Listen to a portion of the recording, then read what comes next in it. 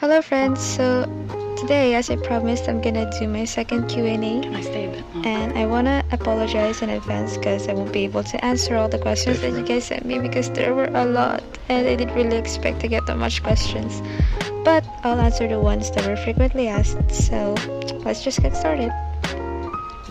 First question, what inspired you to start a YouTube channel? I had two reasons why I wanted to do YouTube videos. First is because I'm a very sentimental person and I like filming the happy little moments of my life and being able to look back on them later on. Second, I like editing and through my videos I can practice my filming skills. So most of my videos are mostly for myself and not for the views. Second question, favorite YouTubers? First you. I've been watching her videos for more than two years now and I regret nothing. Next is Conan Gray. I've only discovered him around January or February, but I've instantly fell in love with him because he seems like a genuine person. Next is Jem. She's one of my inspirations in my videos.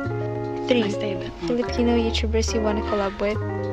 It's either Hanami, also known as Hannah, or Jodie. I love them both.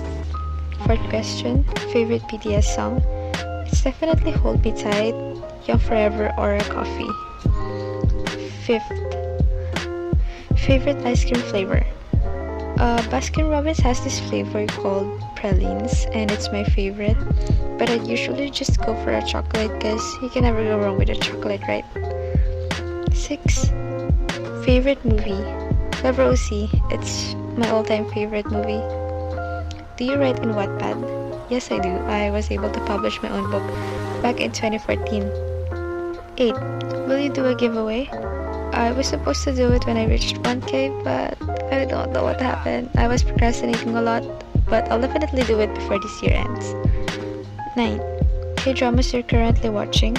I'm not watching any K-dramas right now, although I'm watching the show called Show Me the Money every Friday and it's really good. stay a bit longer? 10. Advice for small YouTubers?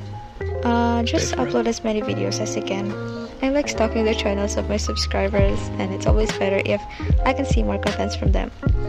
So that's it guys. That's most of the questions that were asked to me.